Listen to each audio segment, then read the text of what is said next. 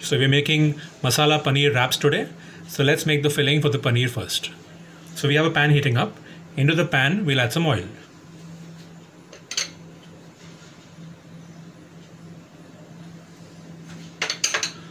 Followed by some cumin seeds, some jeera.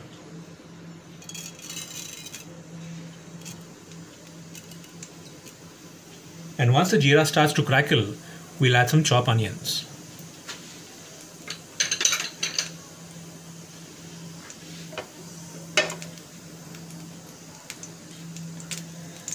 So very simple filling for our wraps. We're going to use paneer today. We could also, however, use some other vegetables of your choice. And the jeera starts to crackle. And we add in some chopped onions.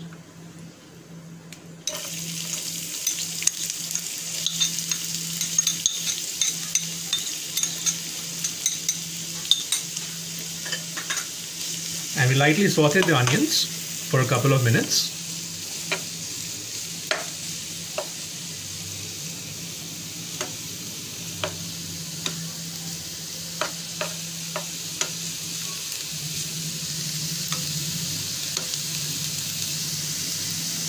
So onions are sauteing over here and they'll just start getting a bit light pink in a few seconds. What we're adding next is some tomatoes. Now the tomatoes here can be also finely chopped they can also be a fresh puree of tomatoes is what I'm going to use today.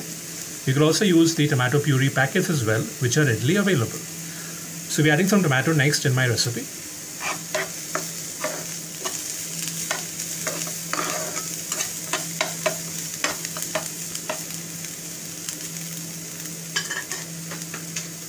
So I'm using fresh tomato puree.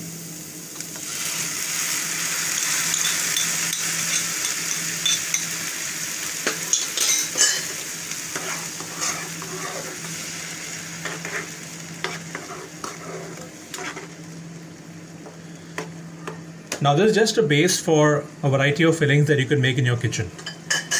Like today we are using paneer for example. We can also use soya bean for example.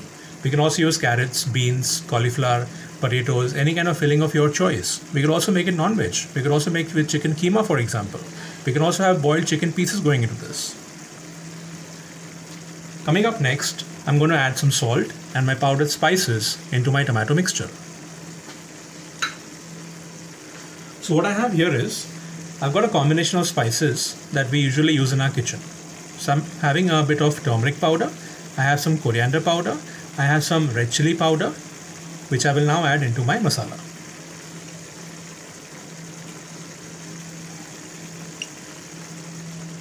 So very simple spices, readily available. Dhania, jeera, mirchi powder. And of course you could modify the taste as per your liking followed by some salt to taste.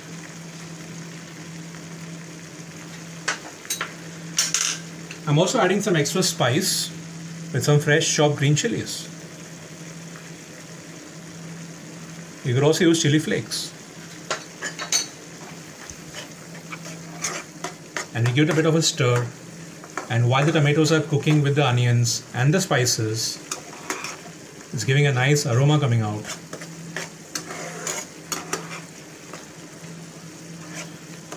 We've been getting a lot of requests talking about wraps and rolls, for example, some quick fast food recipes. So here's one of our recipe today, the masala paneer wraps. So the tomatoes take about a couple of minutes to cook more with the masalas. And while I reduce the flame for about two minutes, and then we come back and we add the paneer into it. So our masala has been nicely cooking away for the last two minutes, and now it's time to add some curd into this. So I've got some beaten curd here, a couple of spoons of curd. It makes it nice and creamy and gives it a nice taste as well. And when you add the curd, you make sure your flame is on the lower side.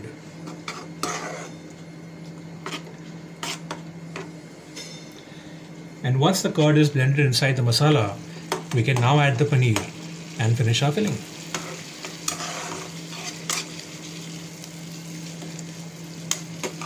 Some people also add some cashew paste or even fresh cream into this. So we now add in the grated paneer inside.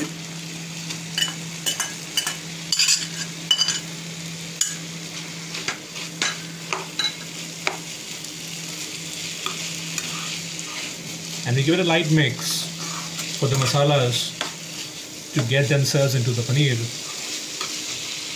and make it a nice tempting filling for us to enjoy.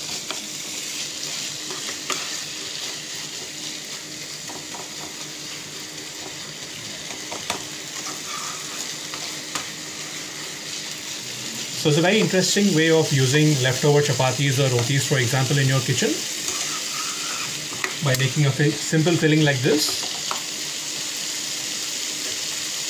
Finally, we add some green chopped coriander. And just look at that filling, it's looking so colorful, so tempting, and nice and aromatic.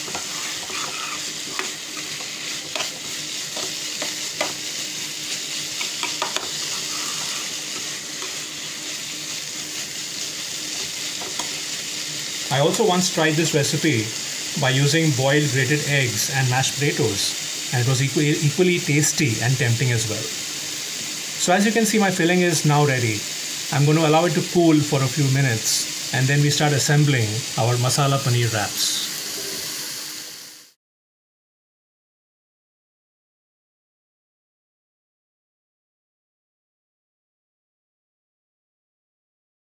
So the wait is finally over and we are now all set to assemble our masala paneer wraps. So we have our chapatis ready onto which I'm going to apply some tomato ketchup in this case.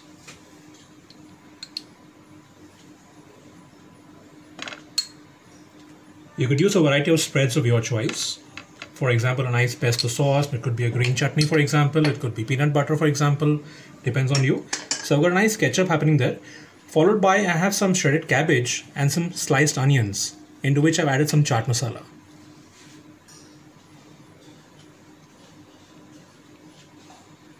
So we just spread the cabbage and the onions onto my chapati. And now comes the real hero of the picture, the masala paneer. And we place it right there, all set to be rolled up for a quick wrap. And now we start rolling this like this and like this.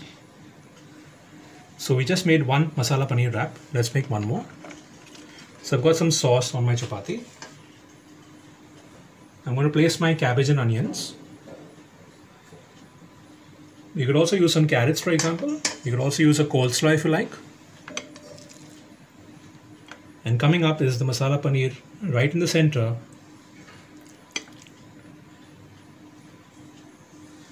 This looks very tempting. If you like it a bit more spicier, you can also add some chili vinegar into this. And you press it right there and we go for a roll and wrap it up like this. So while I make some more wraps ready, I'll come back with the plating very soon. So now we are all set to make a nice dip to go with our wraps. So I have a mixing bowl here into which I'll add some curd. Some lightly beaten curd.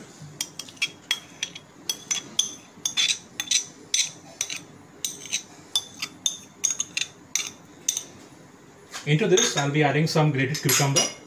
I've got some cucumber here which I have peeled and grated.